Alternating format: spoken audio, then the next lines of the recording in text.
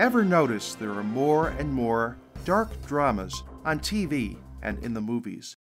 Do You Believe is also a dark drama.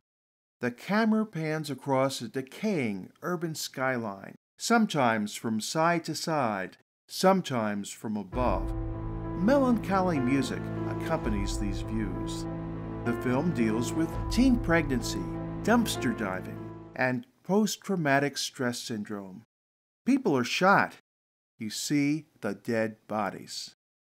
The thing that distinguishes this movie from the rest is that God's light reaches into the darkness.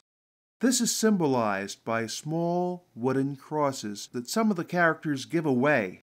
They do this after they have generally moved past a mere satisfaction with the promise of heaven into discipleship, the costly kind.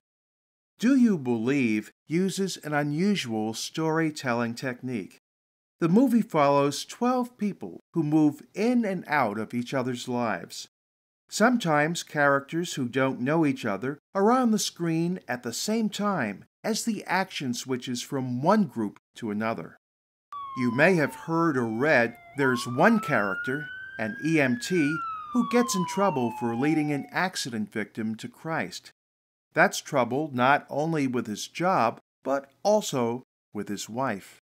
Other characters face problems just as dramatic. How do I describe the way we recognize God's hand at work by the end of the movie, even though some loose ends remain? Here's how the narrator does. He compares life to the bottom of a tapestry and says something like this But one day we'll no longer be sitting on the other side, and the genius of God's handiwork will become clear. When I exited the auditorium, I noticed an elderly woman standing by herself a young man with a beard by a towel dispenser, and the couple ahead of me at the refreshment stand. Still thinking about the characters in the movie, I wondered how far these people were on the journey God has for them.